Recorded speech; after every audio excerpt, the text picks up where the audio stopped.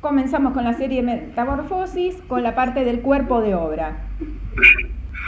Hice una selección de los primeros trabajos, muy poquititos de los primeros, sumándolos a los últimos, para ir viendo cómo fue evolucionando, porque en realidad, dentro de la gran serie Metamorfosis, hay subseries, es decir, en cada año fui probando y haciendo cosas diferentes dentro de la misma línea. Es decir, comenzamos con acuarela, que va más por el lado etéreo, onírico, y después fuimos probando con tiza pastel. Luego me sentí más cercana a ponerle cierta carga matérica. Esto me lo posibilitó el acrílico. Dentro de la carga matérica hay también una idea de querer que tenga otra forma, ya que deje de ser tan etéreo y tenga otro tipo de, presencia. Entonces, comenzamos con estas que son las acuarelas, que elegí esta, me gusta mucho la parte de como si fuera un esfumato en el fondo, porque de hecho dentro de las referencias que tomo, de las iniciales, elegí Armando Reverón. Está dentro de la misma línea, Empezó siendo figuras individuales, continuó siendo eh, parejas. Empezamos con figuras individuales y luego se fue incorporando conjuntos, pueden ser parejas, pueden ser grupos, o sea, es como que la temática en sí es muy amplia, brinda un panorama amplísimo. De hecho, en algunas épocas o en algunas subseries, por llamarlo de alguna forma, se concentra en trabajar las ramas eh, con su paralelismo con los brazos. En otras se concentra en estar trabajando las raíces. En algunas se parte de, del ser humano que se va transformando en vegetal y en otras desde lo vegetal se buscan las formas humanas. Es decir, son como diferentes viajes a transitar, es como muy plástico la temática. Y de hecho, incluso algunas quedaron, unas, cuantas eh, obras quedaron en, idea, en, en, gateras, que bueno, tal vez en algún momento se les da realidad material. Continúo. Como siempre, el, hilo rector de la metamorfosis es el, concepto que está por detrás, es la idea de, un, de una metamorfosis entre ser humano y vegetal con idea de un retorno a la naturaleza. ¿Qué es lo que está detrás de todo esto? Un, interés de carácter eh, ecologista, de que tenemos que cuidar eh, nuestro medio ambiente. Acá, bueno, ya se ve cómo había pasado los grupos más difusos, ya acá estas con pastel, en realidad notarán que ninguna tiene los datos específicos de cada obra. Hay un tema en particular que es que en realidad es como si todas fueran sin título. Eso es como que está un poco en definición. Si lo voy a dejar todas sin título y simplemente son parte de la serie Metamorfosis, es una de las cosas a ir cerrando. Todas serían sin título en realidad, y bueno, lo que va cambiando es la técnica. Las que vimos, eh, las anteriores eran acuarela y eran del 2018. Estas son pastel del 2019. En algunos eh, trabajos, como en este caso, trabajé con, directamente con una hoja, el soporte era coloreado, entonces me ayudó a crear este clima. Esta obra la había hecho en su momento, y no me di cuenta con que como después empecé a pensar más en la caverna, lo íntimo, una paleta un poco más baja como empecé a tener, no vi que tal vez esta podría ser, aparte de estas formas que parecen, podría ser como una especie de forma de una gruta que conforman estos árboles con rasgos humanos, también podrían en algunos casos pensarse que podría ser una raíz o algunas partes podrían ser raíces. O sea, es como que están relacionados porque la propia forma orgánica lleva a pensar que pueden ser diferentes cosas, es decir, hay cierto nivel de ambivalencia. Esa fue en, tiza pastel. Luego esta que fue presentada en la fragua, la última hecha en acuarela fue presentada en el espacio cultural Víctor Jara cuando hicimos la muestra de fin de año. Esta es la, de, la del final de segundo, perdón, no es la del final, es la de mitad de año del segundo nivel, que ya estaba mm, con cierta carga matérica, porque ahí era mucho, es casi todo espatulado, prácticamente todo es espatulado. Después me gustó jugar con que en la última que preparé hay partes espatuladas, no sé si la fotografía permite apreciar la textura, hay partes con cierto empaste y hay otras partes en las que son suaves esfumatos.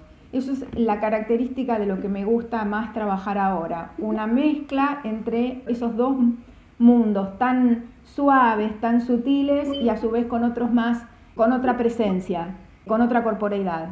Esta es una obra que en realidad yo había realizado en el segundo nivel, pero la quise retomar porque no me terminaba de cerrar, le faltaba, no estaba terminada a mi gusto. En el medio también pasaron muchas cosas entre un nivel y otro y me interesó justamente trabajarle que se viera realmente otra corporeidad, a pesar de que el material en sí es más sutil, como es la tiza pastel. Luego tuve una subserie, esto fue plena pandemia, un volver a las raíces, volver a lo propio, volver a lo que es de cada uno. En esta obra el origen fue directamente vi unas raíces que me habían gustado en la calle, que me, parecieron muy interesantes, las había visto un poco más como un friso y lo adapté un poco a mis intereses, es decir, le saqué la foto y después trabajé en el taller.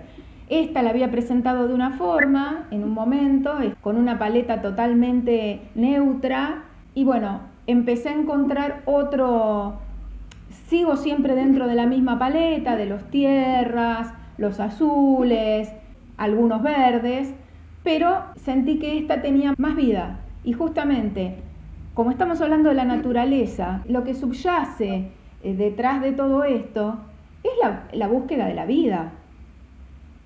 Esto a su vez se puede relacionar, que yo lo tengo puesto en el escrito como cuestiones personales, con el tema de la búsqueda de la vida, que en mi caso comenzó hace varios años y aún no se pudo concretar.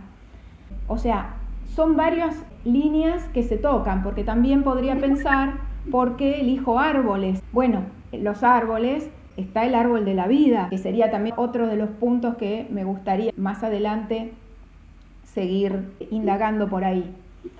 El árbol de la vida en el que se ven las ramas que terminan haciendo un círculo y se tocan con las raíces. Lo de arriba se toca con lo de abajo. Este también es de la serie Raíces. Este espero que se aprecie porque sé que no siempre se pueden ver las sutilezas de las variaciones en valores tan bajos como los que se ven especialmente en el lado izquierdo y en la parte inferior. Acá me gustó poner las tres juntas, las raíces, porque incluso cuando las vi juntas, noté que había como algunas líneas que se podían seguir desde acá, desde O sea, yo las hice por separado, pero evidentemente tengo una forma de componer en la que voy siguiendo ciertas líneas, ciertas directrices. Acá otra línea entre esta y esta. Entre esta y esta acá hay como una continuidad. Por eso me gustó presentarlas así. Con respecto a esta, es la que habían visto que yo estaba trabajando en exteriores, porque trabajo bajo techo, pero es en exteriores. Tuve que adaptarme a trabajar dentro del taller por la temperatura, no solo por mí, sino por la conservación de la propia obra. Tuve un par de aprendizajes a nivel material que seguro no me voy a olvidar. Eh, no es práctico para mí en este momento trabajar con telas, pero bueno, eso es un detalle técnico. Sobre esta tomé algunos fragmentos porque no se puede apreciar la calidad de mi fotografía, no logra captar algunas cuestiones, entonces tomé algunos detalles Tal vez acá se puede apreciar un poco más la gestualidad de la pincelada. Sobre esto habíamos hablado con Domingo, voy a la imagen general, de cómo poder enfatizar las ramas de adelante, las ramas o garra, también podría llegar a verse como una garra, y suavizar las del fondo para no restarle protagonismo. esta obra empezó con algo que no tenía nada que ver.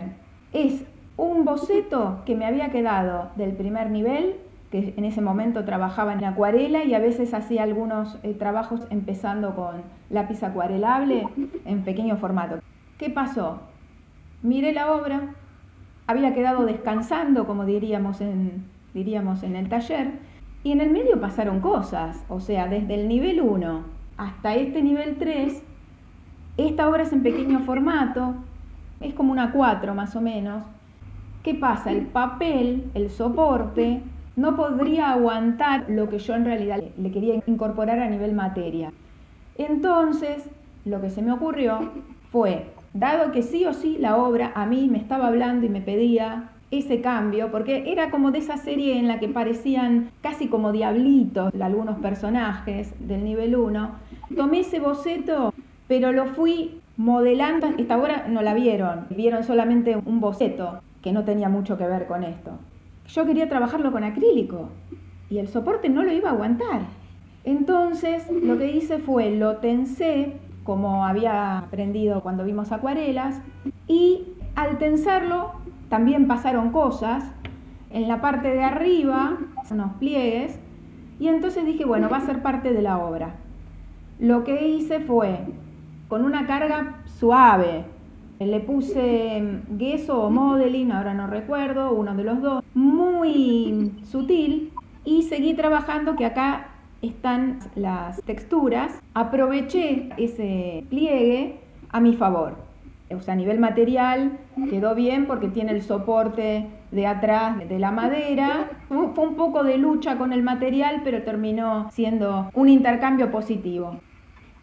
Y esta es la última, que no la vieron, es en formato grande, tiene un metro de, ancho y un poquitito menos, serán 90 más o menos de alto. Está trabajada un poco más tomando la impresión, más lo espontáneo. O sea, no está cada parte, solamente algunas partes están más trabajadas, tiene cierta carga matérica en algunas partes, como en algunas partes de las raíces, lo que está por delante. No sé si aún considerarla una obra cerrada. Por ahora está así. No sé si va a tener eh, una nueva visita del pincel y de la espátula. Para cierre dejé esté trabajando en el taller. Luego tengo para presentar, que voy a tratar de ser breve porque esto es más texto, hay algunas obras, los voy a ir presentando un poquitito más rápido. Bueno, ya mencioné que el concepto abordado es el de la metamorfosis entre el ser humano y el reino vegetal, vinculado con la idea de retorno a la naturaleza. Se busca integrar al ser humano con su entorno. La búsqueda pictórica es expresiva y social, dado que se propone una reflexión ecológica, por ese lado hablo de lo social, Tal vez también podría, si tomamos como que todo es político, eh, también es un planteo de políticas a tener en cuenta. Y eh, bueno, expresiva. Acá cuento un poco la historia, cómo fue, que surgió, que empecé dibujando, estaba dibujando un árbol ser humano, Luego lo relacioné con la teoría de la formatividad de Luigi Pareyson, en la que se habla de formas formantes y formas formadas. Es decir, como que la obra termina a sí misma indicando por dónde seguir. Este diálogo que muchas veces establecemos con la obra, este autor, Luigi Pareyson, lo encaró de esta forma.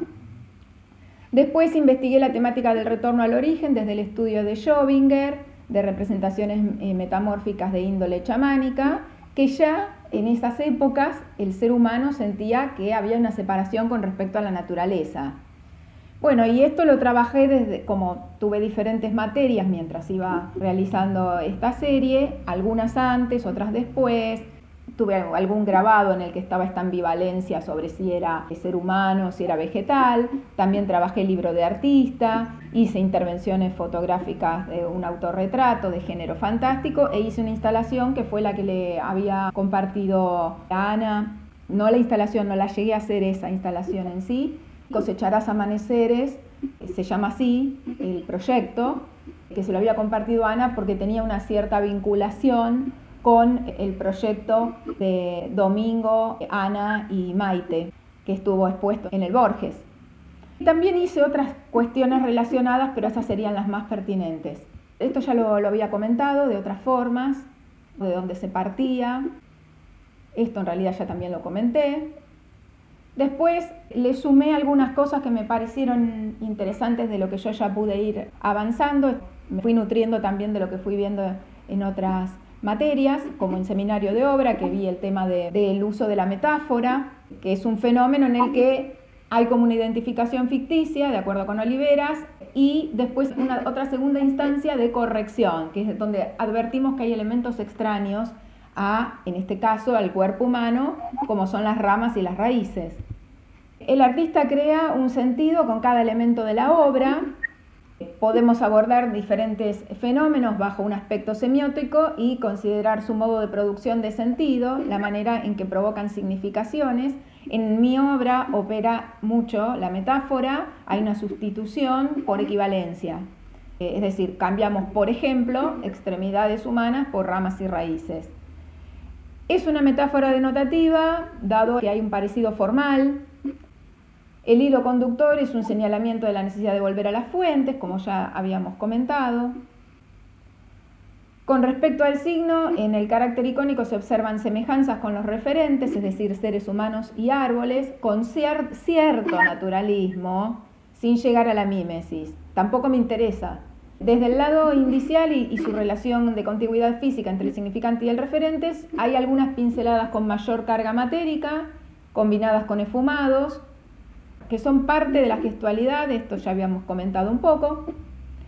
Y en cuanto al signo como símbolo, que tiene la función de representar una idea o concepto a través de un icono, los aspectos vegetales tienen como referencia al árbol de la vida, eh, se observa una concatenación de significantes donde se vinculan distintos elementos, lo vegetal con la vida primigenia y por otro lado el espacio en el que están ubicados los personajes, que en algunos casos se hace referencia al agua, origen de la vida, y en otras obras al suelo en el carácter referencial a la madre tierra como dadora de alimentos y de vida.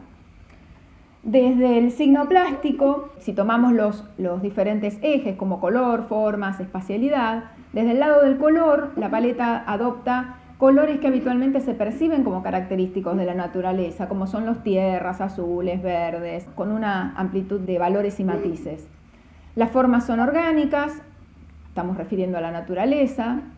La espacialidad, en general, trato de que estén casi en el centro. No me gustan centrar totalmente porque me da como una cierta idea de dureza cuando están muy en el centro las obras se ubican en diferentes planos para generar la idea de cercanía, lejanía.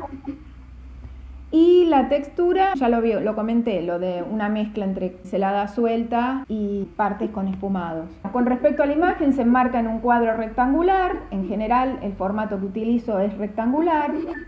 Dentro de lo semiótico, es analizable que tanto el signo icónico es solidario con el plástico es decir, no estoy diciendo cosas diferentes en uno y en el otro. El signo icónico, esto es lo que decía, que actúan de forma solidaria. Todo tiende a reforzar la semejanza no mimética, sino de lo que se quiere expresar. Es decir, hay algunas pinceladas vigorosas con carga matérica que acentúan el gesto pictórico personal pero igualmente está como en línea, es decir, no está contradiciendo al icono. Algunas conclusiones breves es que hay cuestiones que ya los comenté, fue de lo del tema del título, en realidad esto ya está en sí comentado. Y con respecto a las filiaciones, como les comenté al principio, entiendo que mi obra al principio podría eh, tener cierta filiación con Armando Reverón, desde lo atmosférico, por eso elegí esta obra que tenía este carácter en particular. Él utilizaba, aprovechaba parte de la paleta de colores, era dado por el soporte. Una frase para recordar de este artista es, el lienzo está en blanco y cada pincelada es un pedazo del alma. Y la verdad que me fascinó esa idea. Eh, me vi la película hace poquito de Armando Reverón y bueno, y la de mi amigo Turner ya la había visto hace un tiempo realmente muy, muy lindas a, modo introductorio. Bueno, Turner siempre lo tuve presente desde antes y actualmente. Es conocido como el pintor de la luz, es un romántico, un romántico inglés. Él en realidad tiene la parte de los valores, es un poco más amplia que Reverón, que Reverón era más tendiendo a valores más altos. Bueno, ambos trabajan paisaje. Yo no estoy trabajando paisaje, pero bueno, estoy utilizando parte de la atmósfera de ellos. Elegí esta obra, que es pura atmósfera.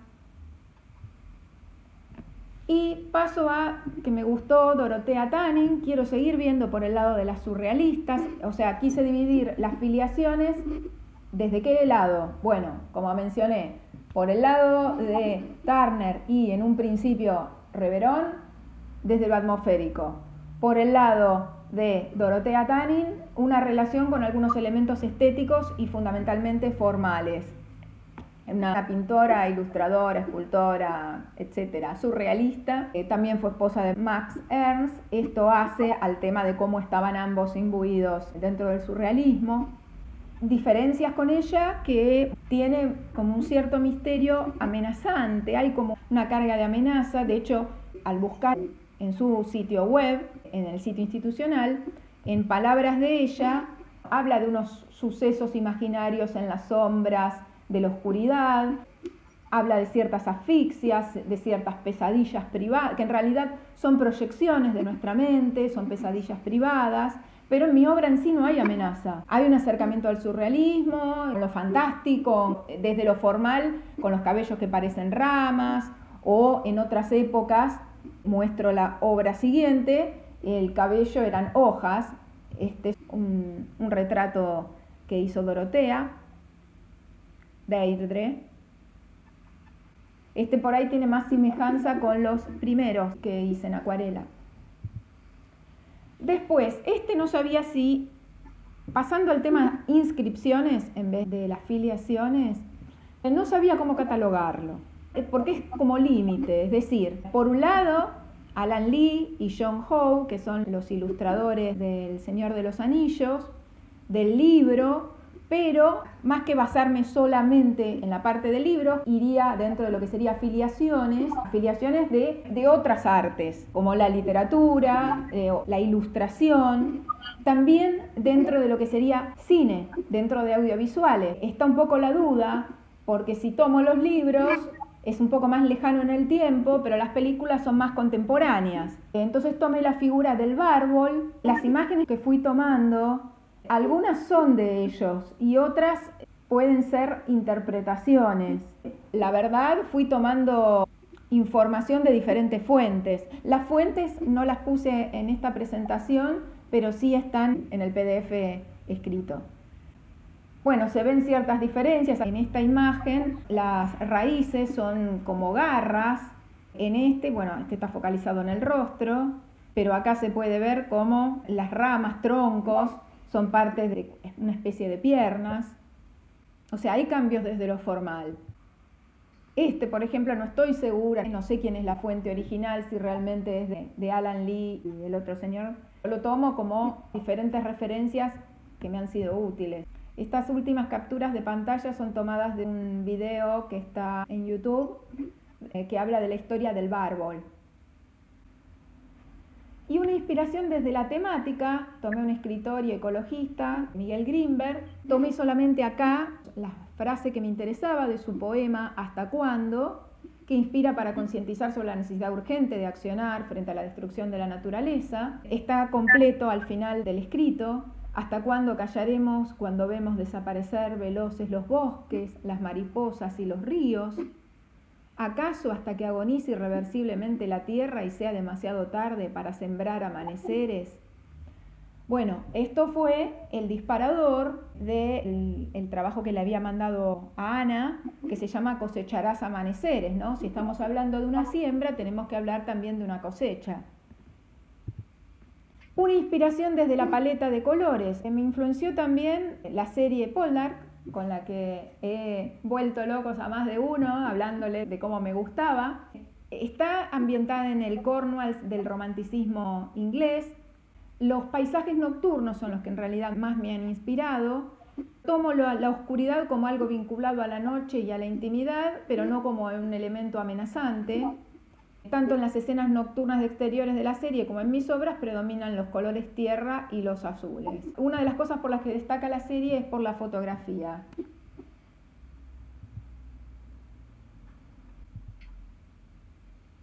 De hecho, la imagen cuando inicia Poldark es, es como si fuera una apropiación del cuadro de Friedrich. O sea, este juego, esta intertextualidad me parece a mí siempre como muy interesante. Bueno, y solo me queda agradecer que me hayan escuchado y todo lo que he podido ir aprendiendo e incorporando en este tiempo. Ya presenté la parte del anteproyecto y el cuerpo de obra. Gracias, Valeria. Los libero un poco. Valeria, muchas gracias. Muy bueno, muy bueno. Muy bien. Bueno, nunca grabé, qué bien. Confiemos en que yo sí lo haya hecho. bueno. Bien. Bueno, gracias, Valeria. Bueno, espero no haberlos aburrido con tan tan extenso. Para nada, No, para está bien, está bien. Gracias. nada. Muy bien. Gracias y felicitaciones porque Muchas esencialmente te has recibido. Gracias. Terminar la carrera ya es bastante bueno. Claro, terminaste la cursada. Terminó. Eh, sí, Así bien. que felicitaciones. Muchas gracias. Muchas gracias.